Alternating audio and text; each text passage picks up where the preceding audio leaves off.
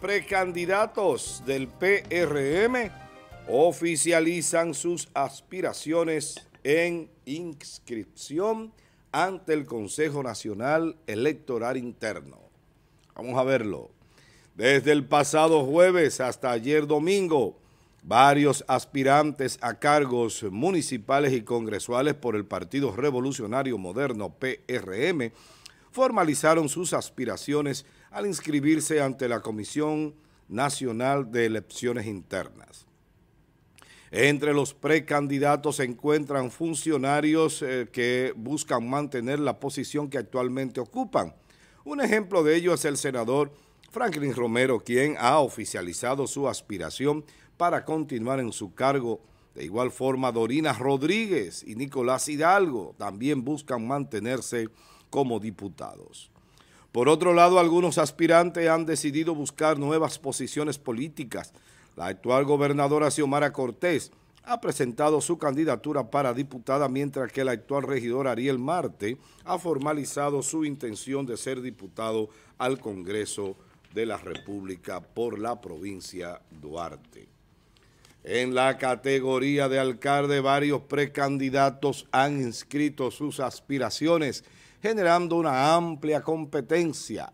Entre ellos se encuentran Julio Lizardo, Japson de Jesús, Alex Díaz Paulino y José Niño López, entre otros. La diversidad de opciones en esta categoría promete una contienda electoral reñida y una decisión crucial para el futuro político de San Francisco de Macorís. El presidente de la Comisión Nacional Electoral Interna del PRM de Línea Ascensión Burgos aclaró que el proceso de inscripción es el primer paso y que la formalidad de dicha inscripción será confirmada tras una evaluación exhaustiva por parte de la comisión. Una vez evaluadas los expedientes, la comisión emitirá una resolución aceptando o rechazando cada inscripción. Ahí están las imágenes de apoyo de esta noticia. Ahí están viejas imágenes de viejas caravanas ¿eh? del Partido Revolucionario Moderno. Ah, vamos a ver. Muy bien, vamos a la pregunta del día. ¿Cuáles de los precandidatos del PRM en San Francisco de Macorís son de su preferencia? Pregunta muy abierta, hay muchísimos, ¿verdad? Pero bueno, vamos a ver qué dicen los PRMistas o los que apoyan a dicha entidad política, cuáles son eh, los precandidatos del PRM que en San Francisco de Macorís son de su preferencia. Así que, Yerian, adelante. Bien, precisamente estuve eh, ayer en esa actividad de inscripción en el Hotel Las de San Francisco de Macorís. No que fuiste a inscribirte. No, no, no. Ah. Yo eh, fui a darle un espaldarazo al, ah, amigo Alex Díaz, que como todo el mundo sabe, yo apoyo a Alex Díaz. No es que lo sigo, yo no sigo gente. Yo hago causa común con gente, para que estemos claros, ¿verdad?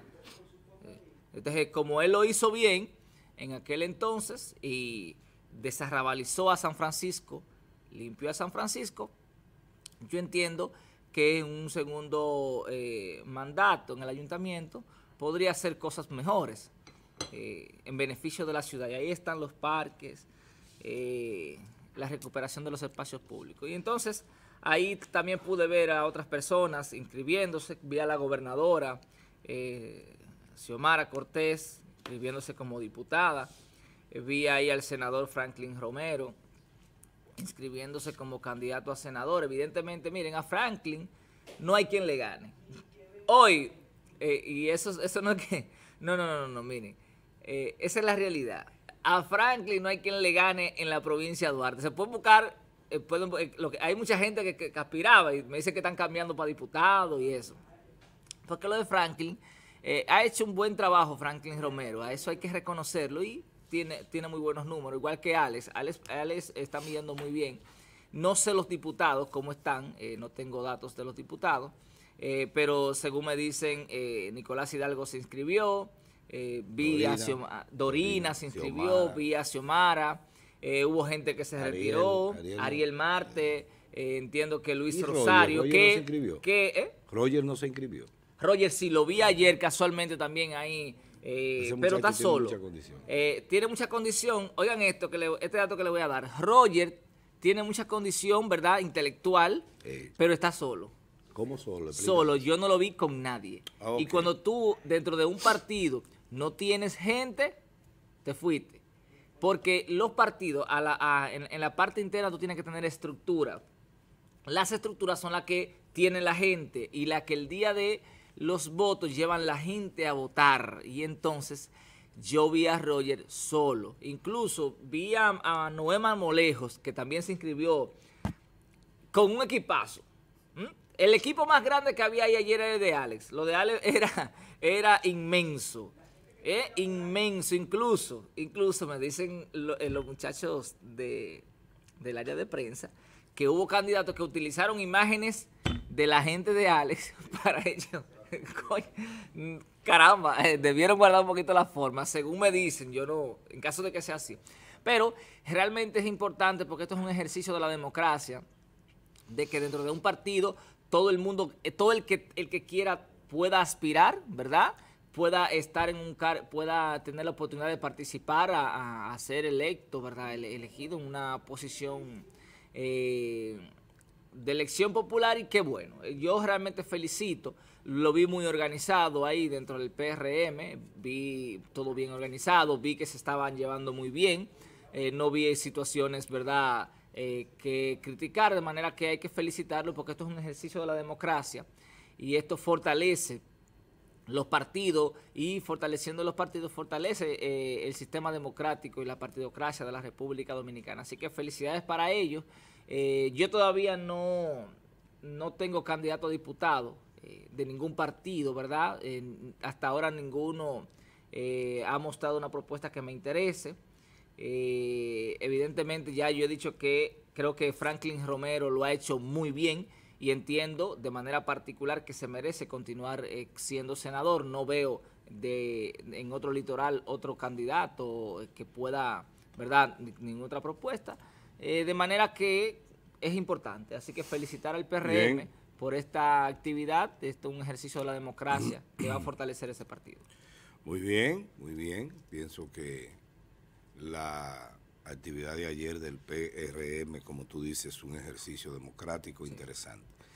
Veo en la, en la nota que nos pasa producción de este programa que dice que de línea Ascensión Burgos aclaró que el proceso de inscripción es el primer paso, dice él, y que la formalidad de dicha inscripción será confirmada tras una evaluación exhaustiva.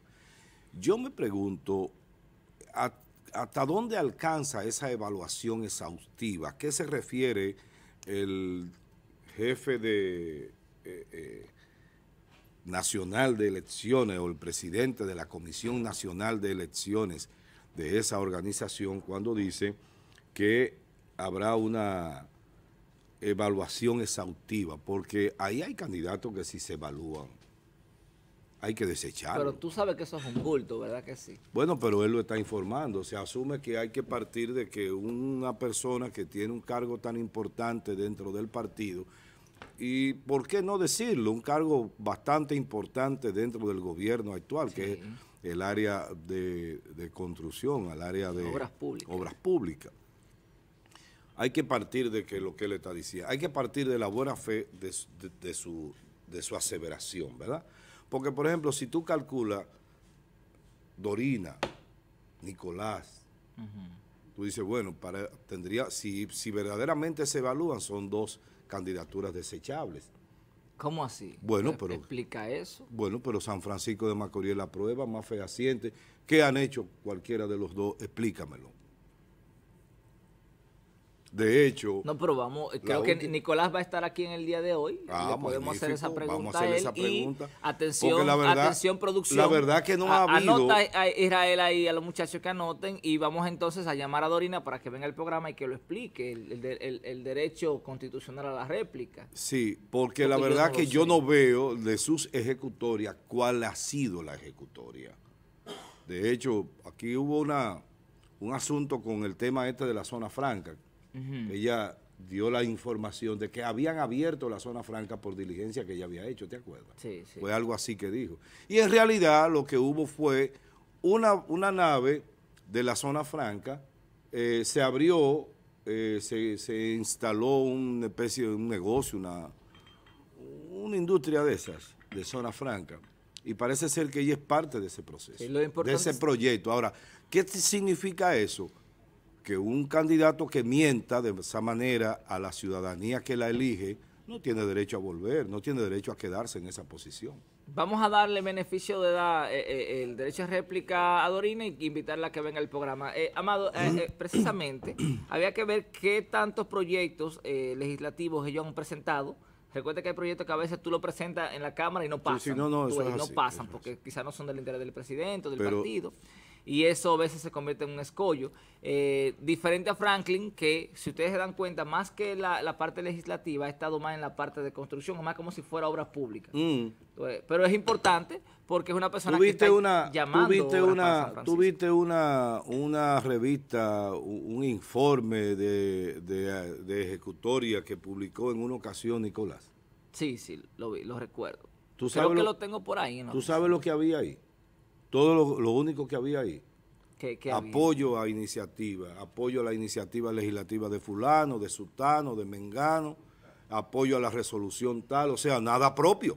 Entonces, yo pienso Pero él, que él va a estar aquí ahorita. el propio Nicolás debiera de entender que su ejecutoria no ha sido la mejor y debiera de darle oportunidad a otros. Mira, por ejemplo, el caso de Roger, que a mí particularmente me parece un muchacho con mucha proyección porque es un tipo formado. Además sabe leer muy bien. Buenos días, Francis Rodríguez, ¿cómo estás? Buenos días. Pero que tú no me puedes tir- tirar lo que tiraste y después saludarme como yo Ay, ¿qué hablo. tú quieres que no yo se puede haga? hacer las dos cosas, a la vez reírse y, y- y saludar.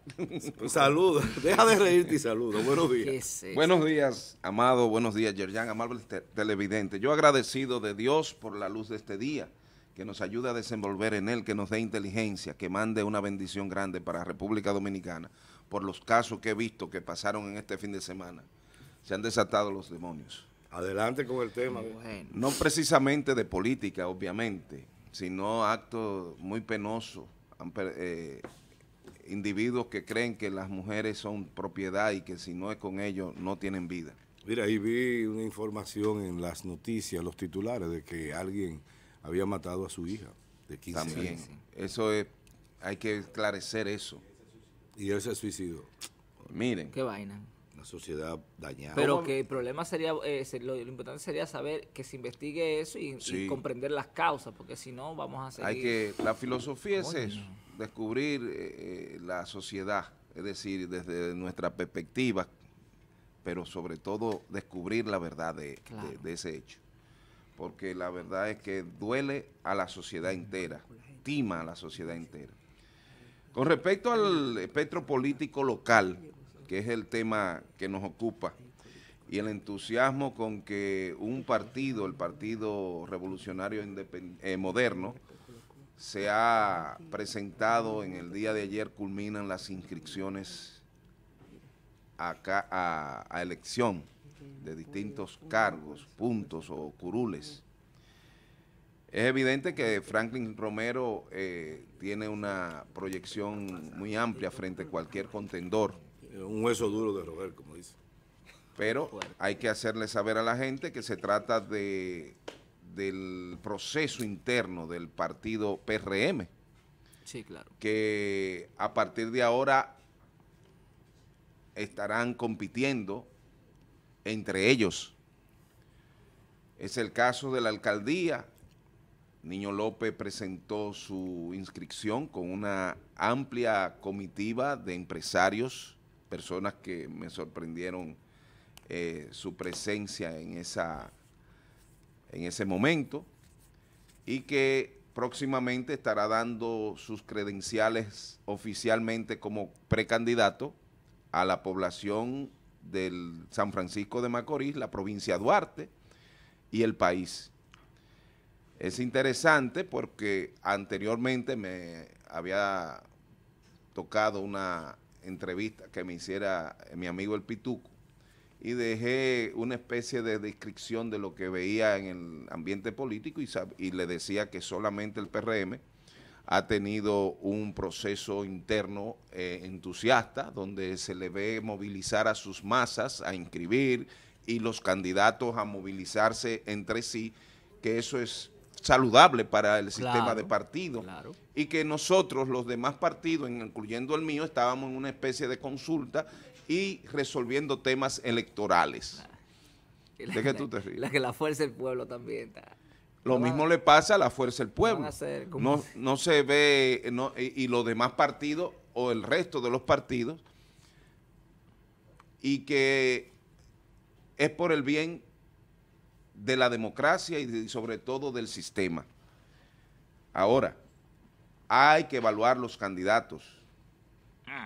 Hay que evaluar los candidatos. Cada quien en su ámbito ser evaluado. Me dicen que le están pidiendo una declaración jurada. Es importante. Y sobre todo... Es un requisito sine qua non para, eh, para presentar, para la inscripción de la candidatura es una declaración jurada de bienes. Muy bien.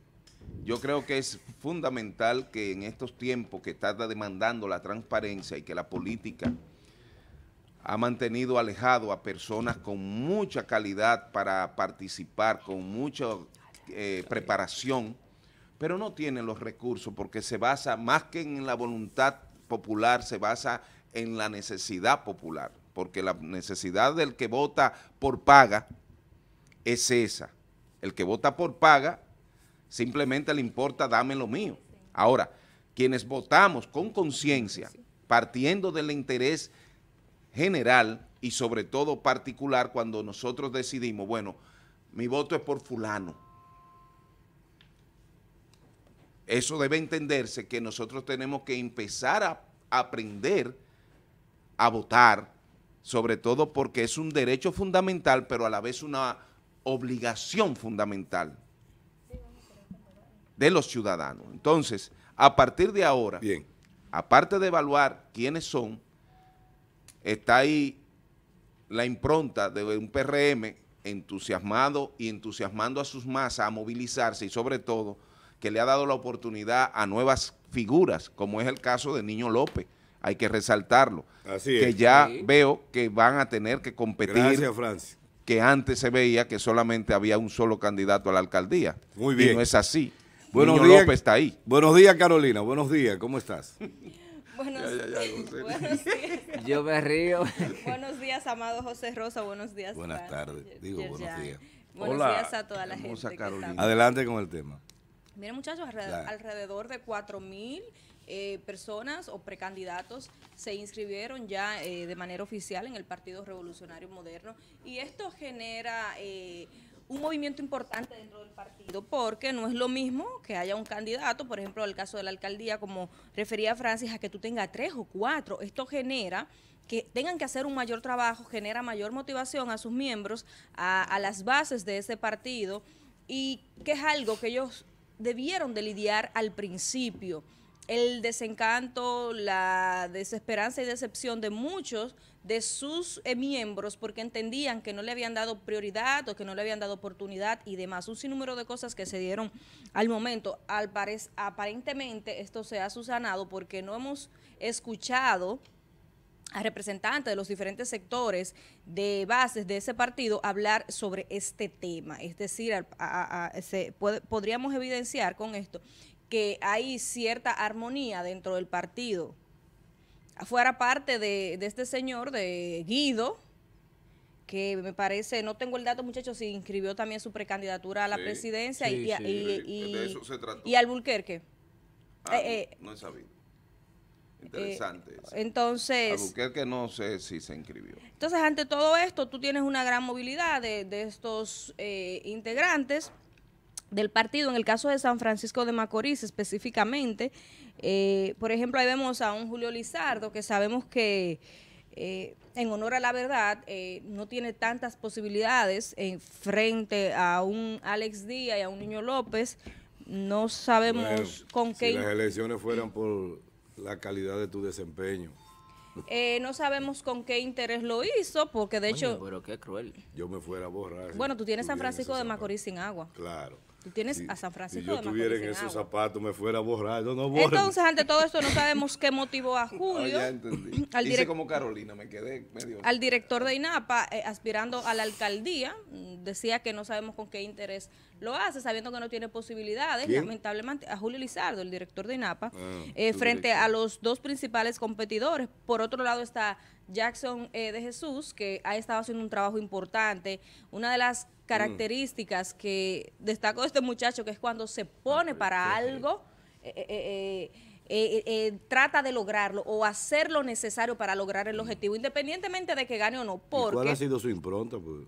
Eh, no me refiero a la impronta, me refiero al trabajo que ha estado haciendo en, el partido político. Y esa parte la podríamos tratar más adelante. Pero no, no sé. Pues o sea, de, la impronta de él y del legado que ha ido dejando en San Francisco de Macorís como servidor social, no te puedo abarcar mucho. Me refiero a él como persona dentro del Partido Porque lo de servidor social, eso es una pose de la mayoría de los políticos, políticos, politiqueros, politicastros que se dedican a... Lo que quiero destacar de, este muchacho, lo que quiero destacar en el ah. caso de, Jackson es que ponerse a competir con un Alex Díaz y Niño López, que creció de manera importante y rápida, y él que no ha sido candidato, que no ha tenido ninguna función pública, que no ha sido eh, pues candidato anteriormente, una vez supuestamente era regidor, y se puso a trabajar su proyecto político como alcalde para cerrar Amado.